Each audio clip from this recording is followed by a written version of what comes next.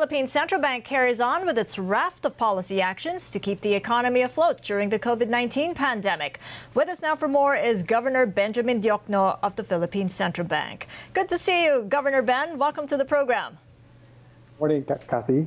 Uh, yes, well, uh, thanks for having me. Sure. Yeah, I was just speaking uh, a couple of minutes ago with former Secretary Pernia and uh, citing his preference for a selective or modified reopening of business. What do you make of it?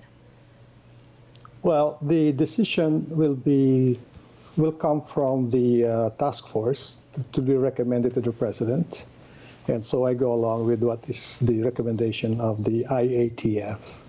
I have no personal opinion one way or the other. All right. Now that we're within that two week extension of the ECQ, what are the central bank's latest GDP estimates in, in the first four weeks of the ECQ and in view of the two week extension? Well, we're, we're still going by, uh, well, everything's fluid. Nobody really knows uh, what is the end game here, but uh, we go by the forecast of the International Monetary Fund and the ADB, which is uh, uh, a slight uh, increase around 0.6, 0.5.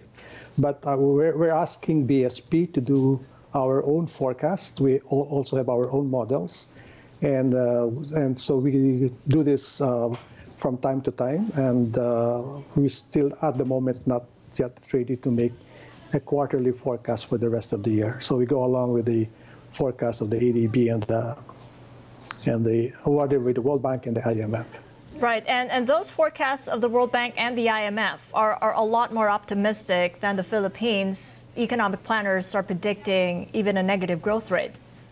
Yeah, because uh, you know the we're operating with the models, and the model assume, for example, uh, that the uh, extension will will have an impact. It will flatten the curve, and that the measures that are being done right now by by uh, the government, health, fiscal, monetary, will be sufficient to carry us through. That the world economy will, as, as forecasted by both the IMF and the World Bank, will have a, a severe uh, reduction in, in output.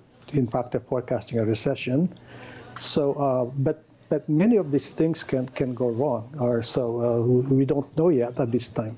So we have uh, what's called a more uh, up-to-date forecast from time to time, maybe every every month. Uh, so we have our own model, as I said, and we communicate this to the Development Budget Coordination Committee. So you've cut the benchmark interest rate by 50 basis points last week, the second 50 basis point reduction in as many months. So the rate now stands at 2.75%. How much Correct. lower will you go cutting the policy rate?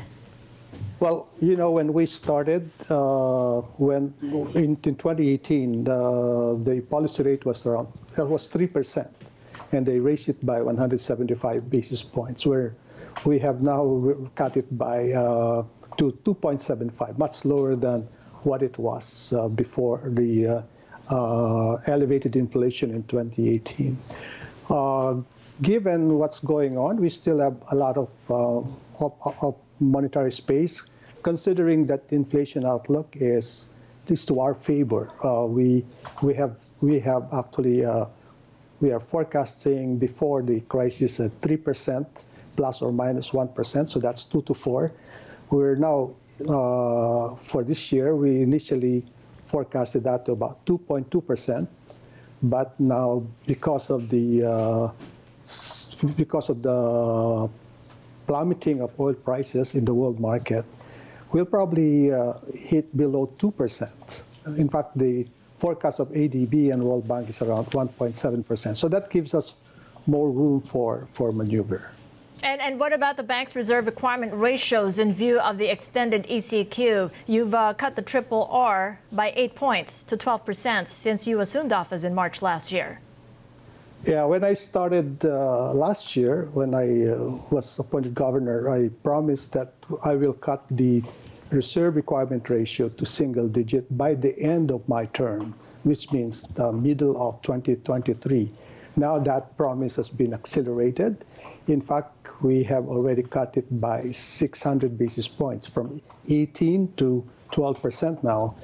And now we have another. Uh, we last last Thursday, the monetary board decided to, to help the uh, small and medium scale industries that uh, we consider it as a cut in the RRR.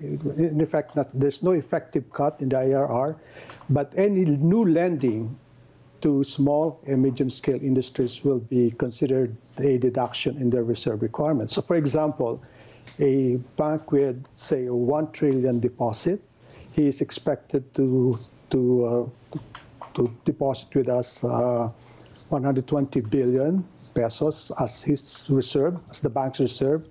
We can actually allow as, as much as uh, 200 uh, million, uh, so 120, right?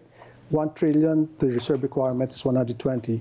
We can allow as much as possible, as long as it's new lending to small, to small and medium scale enterprises. So effectively, that could easily be more than a 2 percentage point cut, or, or rather, a, yes, a 200 basis points cut in the reserve requirement. So, so we have, yeah. Do you think ahead. the triple R possibly could be down to single digit by, by say the third quarter of this year, given those moves? Uh, we are not it's actually possible even at this time, as long as the the banks uh, use the, the extra money to to lend out to small and medium scale enterprises. Interesting. So, how much more stimulus then would be needed by the government in view of the ECQ extension? Well, we promise that we'll do everything to to uh, to show that we are ready. We have the resolution and we are resilient. We also uh, we still have a lot of bullets on, on our on, on, on, our arsenal to to help the national government uh, meet this uh, national calamity. Yeah, those bullets. I mean, how would the central bank contribute in, in financing any increase in stimulus measures or government spending? What sort of tools might you use in your arsenal? Well, first of all, the policy policy rate cut, also the reserve requirement. We also have, uh, uh, well, under the uh, under the BSP charter, the revised charter, we we are not uh, we are we are exempt from declaring dividend to the national government. So we have direct, but we we decided to forego that privilege. In fact, we declared uh, in advance 20 billion worth of dividend for the national government. So uh, in, in, in addition, we have uh, we have allowed, we have given the national government a lifeline of 300 billion in a repurchase agreement. So because we know that the national government is right now hard up in collecting revenues, so we gave them an advance, which they can pay in 30, in three months, extendable to another, another uh, six months. You know that Lifeline is not only 300 billion; it could go as high as 500 billion. So uh, in addition, we are now purchasing government securities in the secondary market. We are allowed to do that. So we're doing all this to, to help the government uh, during this critical period. Talk to us about the uh, the quantitative easing measures, uh, Governor, that, that the central bank may use, similar to what other global central banks are doing, such such as bond purchases, including government bonds, municipals, and corporates, commercial papers. QE being the primary basis during the global financial crisis more than 10 years ago. No, we're, we're, we're actually doing that under under a new name. This is actually what, what we're doing. We're, we're buying government securities in the uh, secondary market uh, we, we, are, we have extended uh, the repurchase agreement with, with the BSP. So we're doing all this already. And, and how would the BSP buy bonds from banks? What, what would be the parameters for that?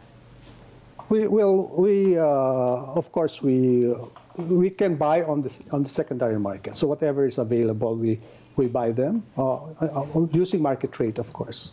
So uh, that's, that's a way of monetary easing also we, we, we're doing this now so that we are giving a signal to the uh, to the banks that there there is uh, the market will be available should they need to to uh, sell their, their bonds in the secondary market. So and and the and the banks have responded uh, to, to this. I think uh, there's more activity now in the secondary market. And when would the central bank fully resume then its term deposit facility auction for all tenors?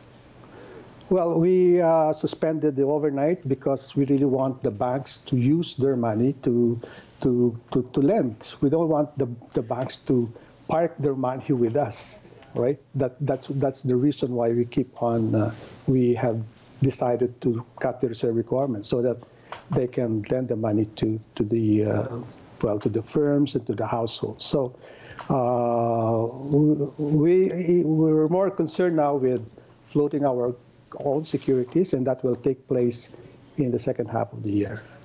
Has the uh, central bank been smoothing moves in the forex market in, in view of the peso's resilience compared to other ASEAN and Asian currencies? That, that's, uh, as you know, we have uh, adopted a floating exchange rate, and uh, we feel that the peso is, uh, the, the value of the peso right now is appropriate. Uh, we, we know that the, our, the currencies of our ASEAN neighbors have depreciated significantly as a result of the crisis. But uh, yes, from time to time we we participate in the market, but this just to smoothen the fluctuations. And what do you think could be the reasons for the peso's resilience? Uh, well, first of all, we have a hefty gross international reserves, and I think the market globally and, and, and locally recognize that we have a very strong fundamentals. We've uh, seen some repatriation of overseas Filipino workers, especially those in the cruise ship industry and, and countries under similar lockdowns. How do you think this is going to influence your estimate for, for OFW remittances growth for 2020? I know that you forecast a decline to 2% from 3%, but that was two weeks ago. No, we uh, actually we are forecasting a 2% growth from, let's say, a reduction, as you said, from 3 to 2 right? But that's still growth. But uh, recognizing the realities, our our seamen are very much affected by this by this pandemic. Uh, we we are revisiting our our forecast for for for this year of the OFW remittances. But but you know we noticed that uh, during bad times and good times, the uh, the remittances have been fairly steady. Uh, so uh, maybe while, while the global uh, forecast is that uh, remittances will decline by maybe between 30 to 40 percent, we, we want to reach that level. Just a final point, the central bank was supposed to get on with its issuance of the national ID this month. What's the latest on it now with the extended ECQ? What's the new timeline? You know, that, that is not our primary responsibility. That is the responsibility of the Philippine Statistical Authority. Our responsibility is to print the ID. But uh, while, while we're ready to print the ID, it's, it's the PSA that's still, uh, is still grappling with some problems. So uh, hopefully uh, we can, we can accelerate that. But you know, uh, before before that's available, we have actually relaxed our KYC requirement, know your client requirement, and that uh, individuals now can open a basic account with very minimal uh, ID requirement. So, so that is our response to this delay in the printing of the national ID. All right, Governor, thank you so much, and good to see you on a video conference tool there for the first time. Much appreciate your time All on a right. Sunday. Governor Benjamin Diokno of the Philippine Central Bank.